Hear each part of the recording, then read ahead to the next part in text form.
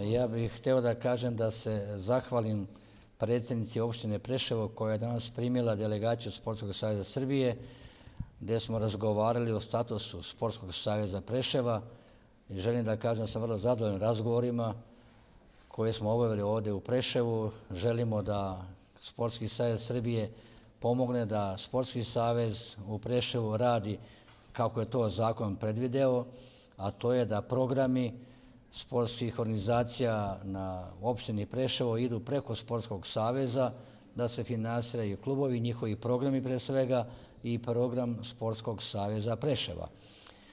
E, predsjednica opštine sa svojim saradnicima je prihvatila našu ideju da radimo sve po zakonu i da Sportski savez Preševa i sport u Preševu bude još bolji mogu da kažem i ono što sam dobio informaciju od eh, naših predsjednika Sportskog saveza i predsjednika Skupštine i saradnika Sportskog saveza Preševa, da ima mnogo dece, kvalitetne dece, da ima mnogo sportista koji mogu da daju prave rezultate u Preševu i u Srbiji.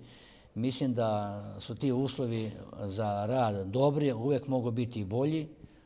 Mislim, nama je problem i ovdje u Preševu što nema dosta sportskih objekata, sala, ono što je neophodno, ali je važno da su deca kvalitetna i da žele da se bave sportom. Jer sport je nešto najlepše u životu i mislim da moramo svi zajedno i opština i naš sportski savez i klube da obezbede što bolje uslove da bude što više šampiona iz ovoga dela Srbije i da Preševo bude na mapi uspješnih sportskih organizacija. Želim svima zajedno puno uspjeha i da se često čujemo, a Sportski savjet Srbije je uvijek otvoren za sve sugestije i za sva pitanja i opštinskom rukovodstvu i rukovodstvu Sportskog savjeza Preševa. Zahvaljujem Sportskom savjezu Srbije što je našo vreme da nas poseti u Preševu i na našem pozivu da nas bio, bio i Preševo i na sastanku koji smo održali danas sa predsjednicom opštine Preševo Arditom Sinanije.